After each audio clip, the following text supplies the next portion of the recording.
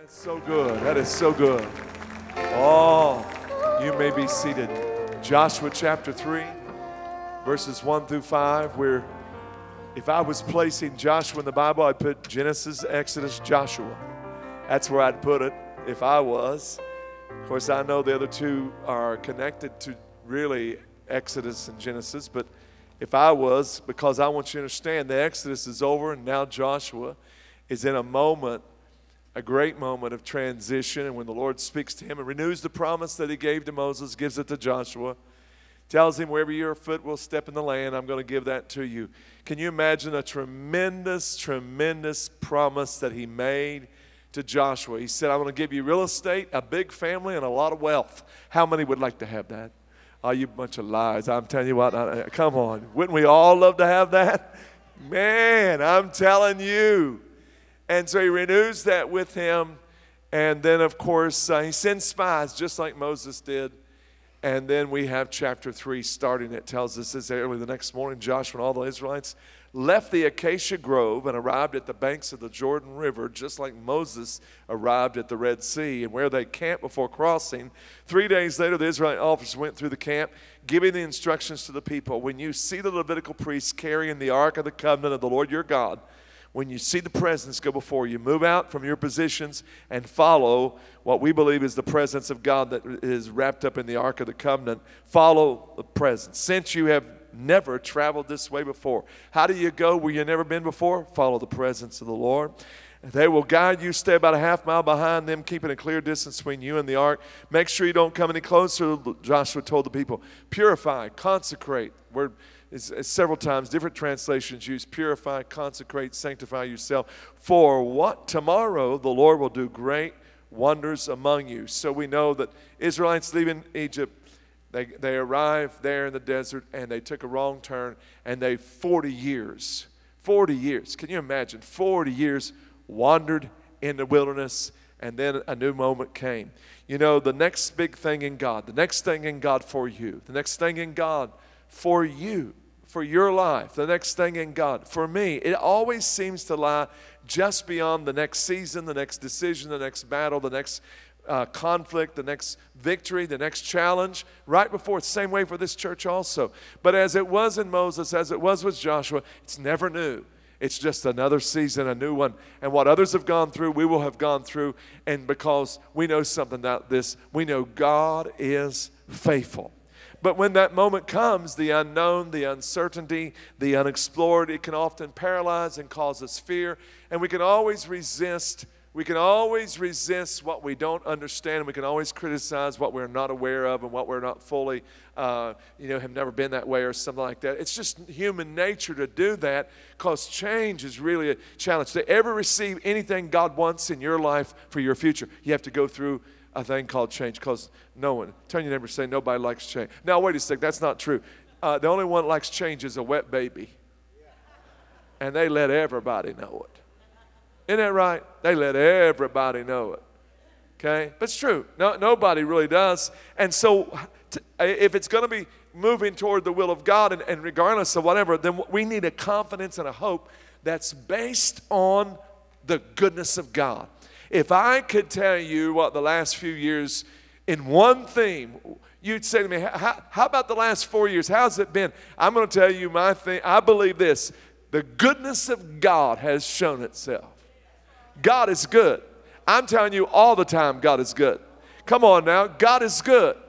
All the time. All the time.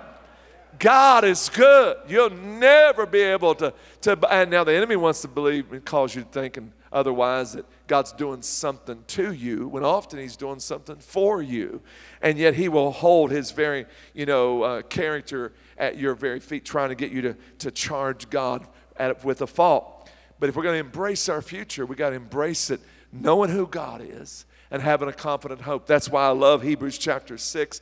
It was actually this phrase that began it all. It was the partial verse, last part of verse 18. It says, Therefore, therefore, anytime you see a therefore, what do we do? We stop and see what's there for. Well, it's about God made a promise. And now God's made another promise to Joshua. Same promise he made to Mo- Moses. And it says that he just, he just started talking about the promise, and God made an oath to fulfill his promise. Therefore, we who have fled to Jesus, and that phrase just struck me with such joy in my heart. I want to be known that I have fled to Jesus. Have you fled? People say, I, am not sure what it means to be saved. I'll tell you what it means to be saved.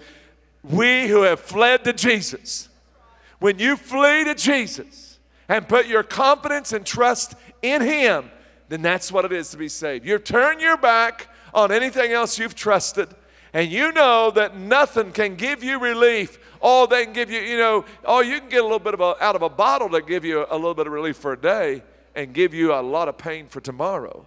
You can do a lot of things that give you temporary relief. You can go spend thousands of dollars and try to get somebody to convince you that you're not okay.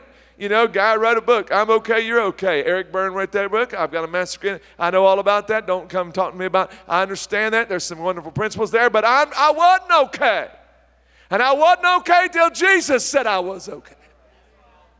Come on. I'm going to try to help me. I need, I need to hurry. So he said, they who ran for him for refuge, what? Can have great confidence. Can have a great confidence those who've run to Jesus can have a great confidence. So, our confidence is in whom we have run to. He said this what? Because as we hold to the hope that lies before us. So, hope, hope helps us to hold on to something that's ahead of us. Hope is futuristic, faith is right now. Now, faith is the substance of that which you're reaching for. Right now it's water. it's okay, brother. Come on. Stick with me. I'm trying to hurry, but you got to help me. As we reach, he calls it a hope. He says, Oh, I love this. Hold to the hope that lies before us. What about that hope? This hope is a strong and trustworthy anchor for our souls. I spent some time on an aircraft carrier in San Diego and got to go all over, man. Some of the ret- retired, wonderful veterans of the Navy, all was stationed all over the place, and they would tell you, many of them had been on that very ship. And as we were on the bridge and we got to the place where the anchors, he said, We got four anchors and told us how much weight they were. And then he asked the question, You know, what's the most important part about the anchor system? And I went, in my mind, going, anchor, duh. But I thought, I'm not going to say something stupid because this is a setup. So I waited till the man next to me went, anchor, duh. And he went, no. Almost like, you know, he's teaching us something. He's almost half mad. No, it's the, it's the chain. Because if the chain don't hold the anchor, the anchor won't stay in place. It's your hope that reaches. I want to strengthen that chain in you today. Because I know God will never fail you. But if you let loose of him and quit holding on to him, it won't be that you that he failed you, it'll be that you failed your faith. No, no, we want to strengthen that hold today. Why? It's a trustworthy anchor for your souls. That's the Greek, from the Greeks we learned body, soul, and spirit. And, you know, there was a whole teaching that had to be countered in the New Testament that, you know, well, you can do something with your body, but it doesn't really affect your soul or your spirit. How many knows that is unequivocally not true? Not true. Still heresy. Keeps coming around. You know, heresy is old lies repackaged for a new generation. And so it's just, no, listen, if I, if I, if I stick a needle into, a, into an apple, I'm going to reach all the way from the outer side of its flesh, all the way to the inner side, all the way to the core.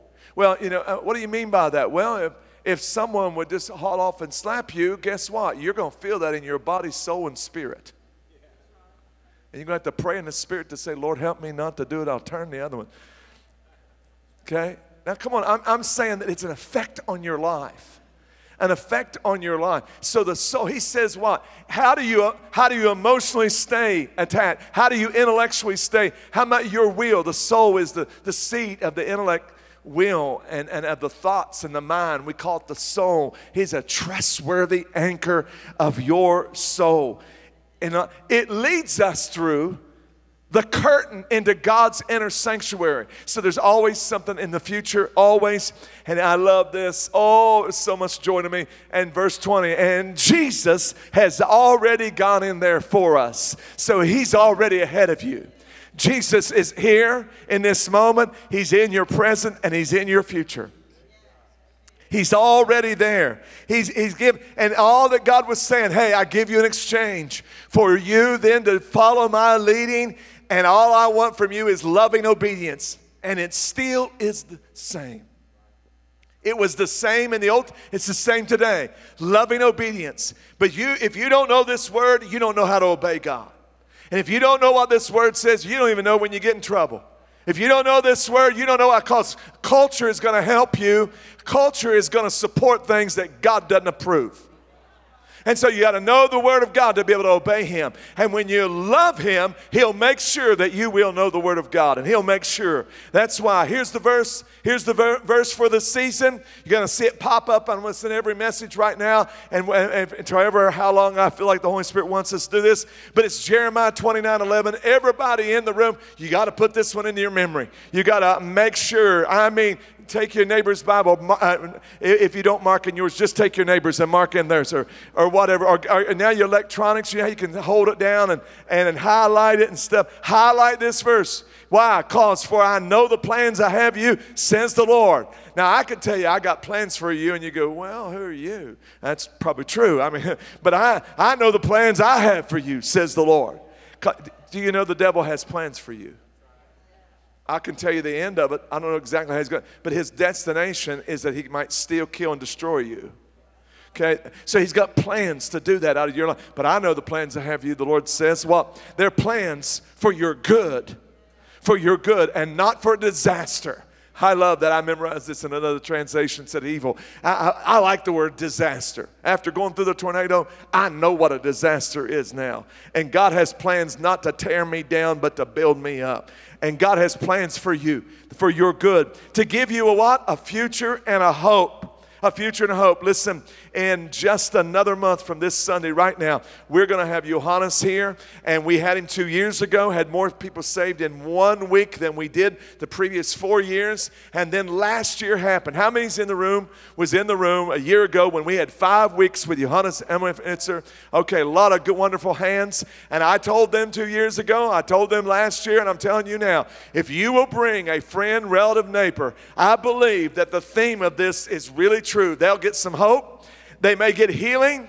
Yeah, we're believing God for healing. We believe in the physical healing of the Lord Jesus by his work on the cross. He still touches people. We believe God still heals people. We do believe that. And, and, we, and when, you, when you need healing, you want it any way you can get it, any way you can come, but we want God to do it. We had many, we have verified things last year where doctors even wrote letters saying we, we canceled surgery from the reversal and from the healing effect. And we had, we had several that said, we know it has to be nothing short of a miracle. And we thank God for that. So here's what we're going to do. Would you, would you pray about putting four names on this card that you would like to invite? And as you do that, if you'll fill out one for yourself and one for others, put it in an offering at any time. Uh, we'll, we come by. You can lay them right here on this platform. Keep one, give us one so that we can pray all month long for those you are being you are inviting because why? Because the theme hope and healing. You say well that was the same thing as last year. I know but we got really creative. Hope and healing 24 what do you mean? Well it was it's not 23 it's this year. You know how hard it is to get people to live in the now.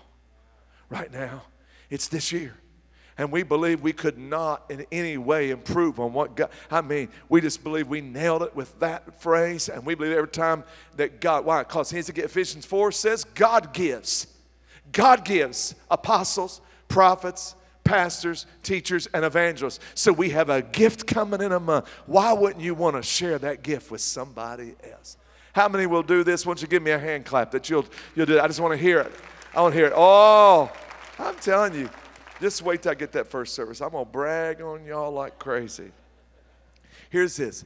I know this is a long front porch, but the back porch is real short. And okay, here it is. Hope is found on the ground floor of reality. If you don't come to reality, you don't have the basis of a real hope. And so, this message today and what I'm starting, I never hardly ever get to finish anything with this, is that reality, when you, you know, well, don't be cruel when you give people reality. No, I, I know, but isn't it cruel to keep people from reality? And so reality can often feel like hopelessness. But see, hopelessness is the basis of when real hope can begin. So let's pray. Father, thank you for this moment. In these next five, ten minutes, Lord, I can't be long, but I ask you to maximize it in Jesus' name. Amen.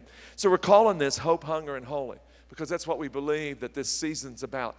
Hope as in God do we have a real hope in you and what we're doing and what we yes we do. We believe that. And i believe it for you. I want you to have a hope that god is leading you right where you are in whatever relationship whatever job whatever home whatever whatever you're doing whatever challenges in front of you your physical challenge whatever that you got a hope and the real hope in god. But you have a hunger for him so that he can give you the strategy that you need and that you would often god will use everything in our life to bring transformation we call it that He might purify us, that He might bring us through the fire, that He might bring us through that season, that He might set us apart as someone who's been through something and be able to talk about it and tell about it. And that's what holy does. That he is justifies us. He puts us in right standing from him and then he begins to work on us. And often long after all the outside things fall off that you know, you know you weren't supposed to do and all this kind of thing. You can imagine if you grew up in any kind of Pentecostal church, let's say 50 years ago or 40 years ago. Man, you got the Bible and a lot of other stuff along with it. I mean to tell you. And so that process of coming to finding the grace of God and being transformed. That's what we want to say. We want to say, what is the hope based on? Hebrews 6 reminds us that we can see reality and not have a baseless hope. Because why? Hope buys time and spends it on a promise. Listen to me. Hope buying time. When people are hoping and waiting, they're spending their time, they're spending their life. And they are what? There's a promise before them. That's why Proverbs 13 12 says, Hope deferred, hope prolonged, hope not answered, hope not, hope not realized, hope deferred makes the heart what? Sick. You ever been sick over a promise over a, come on, anybody? Okay? But a dream fulfilled is a tree of life. So hope buys time and spends it. And so we ask God, help us. Help us to make sure that our hope is designed by you to give us more time and to keep waiting on you and trusting on you. But hope that is not anchored in Jesus, hope that is not at the base of reality, is not hope at all. It's wishing disguised as hope. Let me take a moment really quick right there to say wishing is a desired expectation. It's wishing is I, I want something to happen in, in the future. I'm, I'm wishing. I, and we call it sometimes we say hope when we really mean wishing, but real hope has some grounds to believe it. Something in the future that will occur. Because if you lead somebody down a, a hope, down a road called hope, and there's nothing at the end of that road, then that's the, that's the worst, cruelest thing you could ever do. It's causing them to believe something that, well, you're spending your time on something. I, uh, man, just went through a season over about a decade where our church would grow like crazy during our young days of our life and uh, go over so much. They only had so many parking spaces. So people are parking up and down the streets. Neighbors are complaining. Police keep coming over and over and over. Every time we got over a certain level. And so we did it three times. And we buy this property, huge, 100 acres, two mountains. Start taking people out to the property. I wanted to sit old logging road looking over just like this, looking over that property. And the man who was the patriarch of the church, who didn't have a position but had more influence than anybody, he, in front of everybody, just stood up and he just kind of waved it off and said, said, Pastor, just forget it. You'll never be able to afford the road. And I'll, I'll never forget how hopeless I felt at that moment. I'm thinking, Lord, I've, I've spent, you know, nearly at this time, nearly 10 years of my life and, and, and I'm, I, am i am trying to do something that can't be done right here. And we buy this 100 acres, and now we can't even afford the road. And I went back, and I, I mean, I poured my heart. My hunger drew me back to the one who gave me the promise of that property. He spoke to me about that property when I was in India in 93, in 1993. And I, we're, we're in this moment. Now it's 96. We done got the property. And we, we, we were just trying to do something. And so I cried out to God, and you know what he said? Nothing Because if God gives you a promise, He don't have to repeat His words. He, he is intending on bringing that promise together. He's intending on fulfilling His word, and He don't need to listen to your neurotic uh, uh, uh, um, nerves and your worry and your doubt and your frustration. No, He goes, No, I'm going to do it with you or without you, but I'm going to do it. I, I'm confident today there were a church been on that property with me or without me because God spoke in fact, I had a man bring me a West Virginia history book, and the chapter three of that book says campaigning in the land of promise, and they described that property where the troops, the northern troops, would back up in that property, and there they declared it no war could happen right there. It was a place of rest. And that was the property already prophesied about years before, and God, and God did it. So, I, what do I do? And then three years later, Three years later, the state of West Virginia announces, We're coming through this property. We're going to have to build a road right through your property, and we're going to take care of it when we need the snow removal. And, and I, am telling you, God is going to do it. It's not, not anything. I know I'm just foolishness to believe when God speaks it, you got the grounds to believe it and trust Him and do that. But false hope, what? It calls you to spend your life over and over because if you don't see reality, the greatest problem it can be your greatest opportunity if you only get to the ground floor called reality. See, often if you don't know where you're going, you'll get there every time. Hope is not a strategy, folks. It's not a strategy. It comes as a reality that God has given you a strategy to be able to go in the direction that He's pointed in. You know what the you know why when you get saved you call we call it repent. It's so wonderful that repentance, man, we need to fall in love with that word. Why? Cause when you repent, you got to go back up again. In fact, repentance means to turn around. And when you come to Jesus, you turn around. And so, repentance, having turned around, I'm now heading in the strategy. This is the strategy God has for me. And He's going to use the body of Christ and everything else to bring me in line to the image of Christ. And so, when I confidence comes when I'm following Him and the witness of His presence comes to my heart. It's the gripping of the Word of God and holding on. Your next step, step of faith might be exactly where you are, where you maximize the moment and place you are and get yourself ready for the next place that God comes to, comes down. How hungry are you? How hungry are you? Everybody's hungry about something. Come on, how hungry are you? Finally, hopelessness can be the ground for a faith then. Faith, it's a big change motivator. When I come to that moment and saying, waiting and waiting, God, is this what you want me waiting on? Is this, you me? I face reality. I feel the hopelessness. Now, am, am I going to keep doing and waiting and keep doing and waiting? You know what that's called? Over and over and doing the same thing and what? Expecting different results? No, no, no. We're going to trust Him that when we have run to Jesus, and we have received his strategy, we know exactly where he is. Chapter 3, verse 5 tells us purify yourself. Purify yourself purify. Tomorrow, the Lord will do great wonders. So I want you to take something out and write these down, put it in your phone, write it somewhere. I want these are the three greatest questions anybody could ever ask you about your future. The three greatest questions. I promise you. I promise you. We're, we're concluding. This to be the, it's going to be the conclusion to this message real quickly right here. I usually don't take really, I, I, usually take weeks when I'm working with somebody to get through this because you got to know number one, what do you want? You know, you know, that's the question people don't understand. People don't, they don't really know what they want. I want it all. No, the, the world is, oh, you can have it all. No, you can't have it all all the time. You might have it all over a lifetime, but you can't have it all all the time.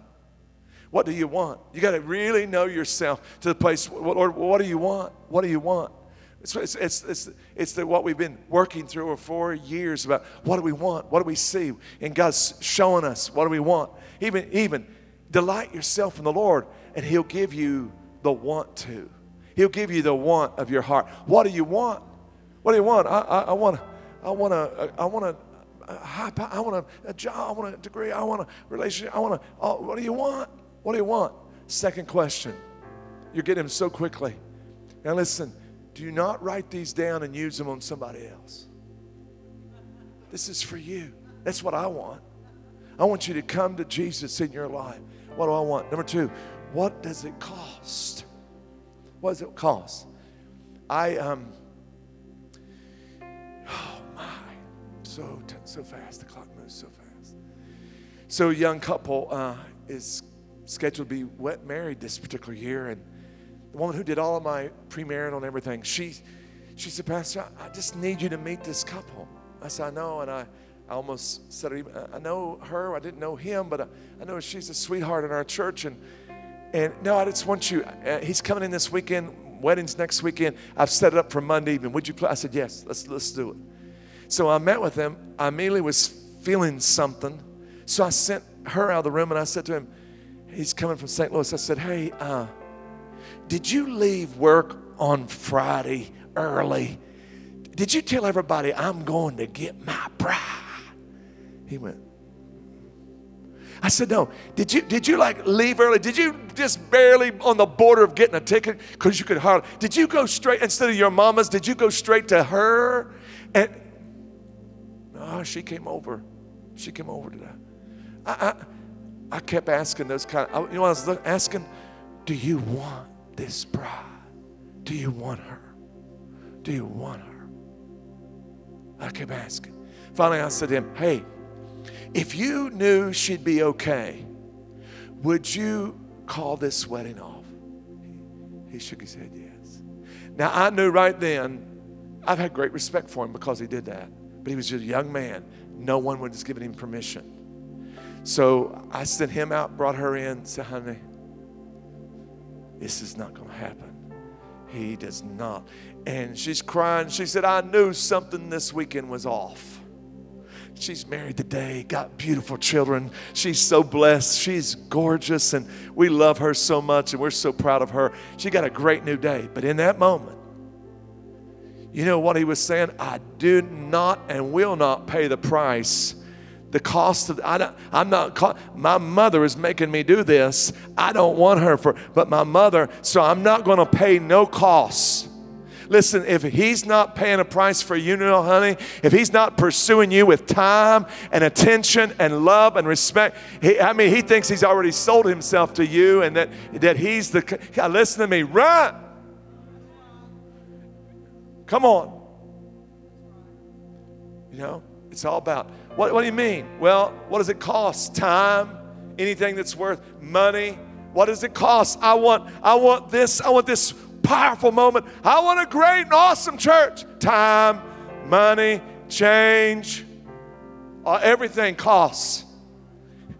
I'll tell you, uh, I I got a musical family. My dad could play anything. I got a sister and a brother that can play. Some of us can't, but I wanted to play, and I, I said it out loud. I shouldn't have said it out loud because I wanted it out loud and said to my mom, I, I want to learn how to play the piano. I want to play the piano. So she, uh, she found the only piano teacher in the area uh, Miss Armstrong. Miss Armstrong was the wife of the man who owned the funeral home. So, where do you think the piano was?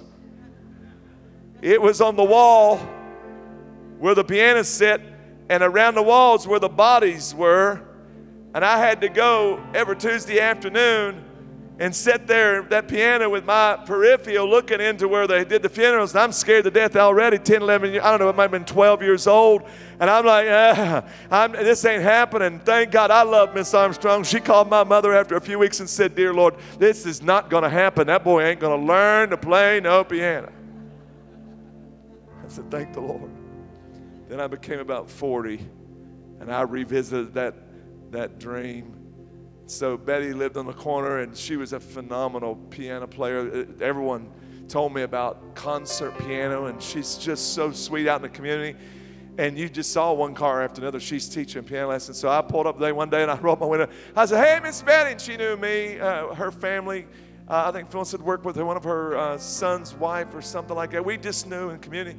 I said, Miss Betty, I want to learn how to play the piano, and I could hardly get it out of my mouth. She went, Oh, dear God, you ain't gonna learn no piano, piano. Get your nose in that Bible. You, God's raised you up. I, we need to hear the word of God out of you. You, you quit that. You just need to stop talking about. Have, have you talked about this very long? They, look at you. You're 40 and you want to learn the piano. She, no, no, you need to preach like you've never preached before. I've always thanked God for Miss Betty. She brought reality to me. You saying I'm 40 and I, I can't learn how to something? Yeah, you can learn if you want it bad enough. She just knew me that I didn't have the time. It was a cost factor for me. Are you ready for the third question? It's the most important three questions you may ever ask. When are you willing to pay the price? First, you got to find out what you want. Then you got to find out what the cost is. Oh, you got to find out what the cost is.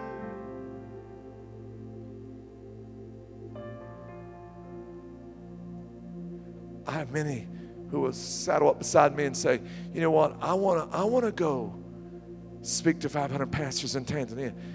And I, I want to say to them, then maybe you got a few years of costs you got to pay. I want your anointing. Pat, well, you don't want the cost of that. God has your call and what He wants. Find out what God wants and never let it go. Let's stand together. Thank you, Jesus. Come on. Because no one will have more of a heart for you and what I want for you as much as I do.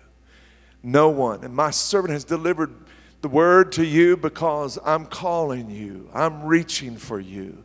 I have not only for you the destination, but it really is as much about the journey as it is the destination. Because I could bring you there overnight. I can drop, I can put gifts in you overnight, or I can develop those gifts in time. I can bring you to a moment in an instant, or I can bring you through the moment as my work is being done in you, and others see the glory of the transformation of my presence in your life. So be that, be that very moment. Yes, hope is my desire for you, and my hope is extended to you. My son is my greatest hope for you. My son is the embodiment of my hope for you. And the moment that we are gathered together and pulled that the body of my son off of this planet, we call it the blessed hope. And my hope and life for you is for to build you up and stir you up and to give you a more fulfilling life. Your best life now is found in my presence, not in someone else's guru teaching,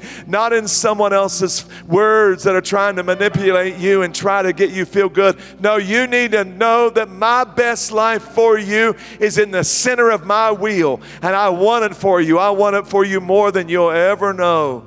In Jesus' name. Thank you, Lord.